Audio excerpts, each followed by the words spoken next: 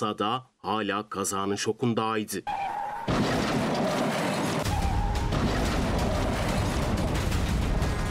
Benzer bir kazada Antalya'da yaşandı. Aşırı süratli otomobil kontrolden çıkıp hafif ticari araca çarptı. Açılan kapıdan dışarı savrulan sürücü hemen ayağa kalktı. Bir şey yoktu.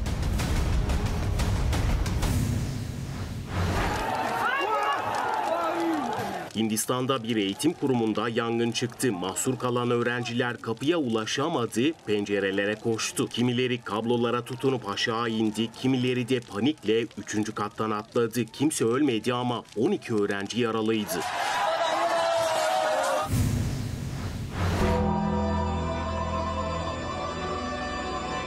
Sürat motoruyla dev bir geminin önünde öylece yol aldı. Tehlike büyük olsa da o hiç aldırmadı. En küçük hatası ölüm demekti.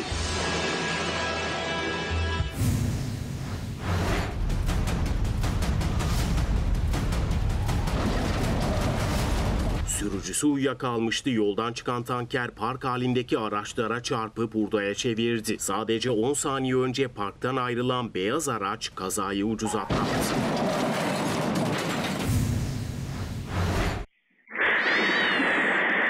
Kapının önünde yatmış keyif yapıyordu. Koca su kabı aniden patladı. Kedi gürültüyle uyandı, tabanları yağladı. Nehre dönen suyun önünden böyle kaçtı.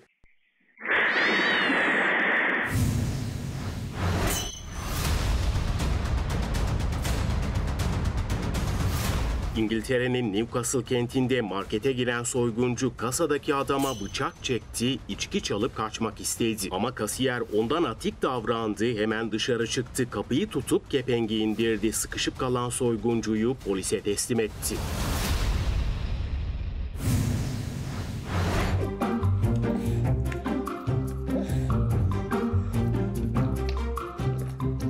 Öyle acıkmıştı ki kabuğuna bakmadı, portakalları ısırıp tadına baktı. Sütünden içmeyi de ihmal etmedi.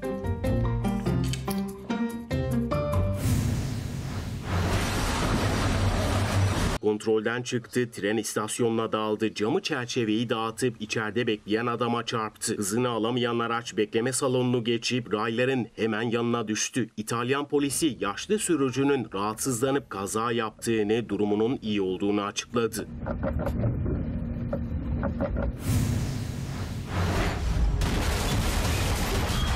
Kavşakta duran motorcu geçmek için beklemeye başladı ama kader ağlarını örmüştü. Elektrik direği üzerine devrildi, oracıkta can verdi.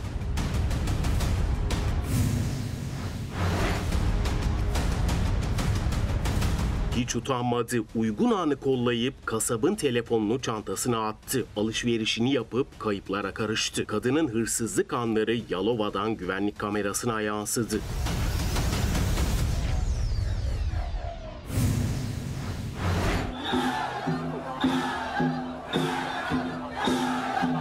Dünyanın en uzun ejderha teknesi Çin'in Hunan eyaletinde görücüye çıktı. Tam 400 kürekçi tempo tutup nehirde şov yaptı. Çift kürekli görkemli tekne Guinness Rekorlar kitabına girmek için beklemeye başladı.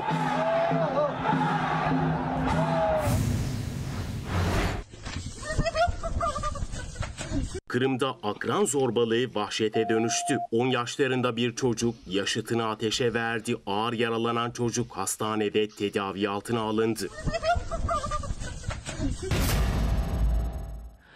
İddiaya göre ev sahibi kiracısına bina giderlerini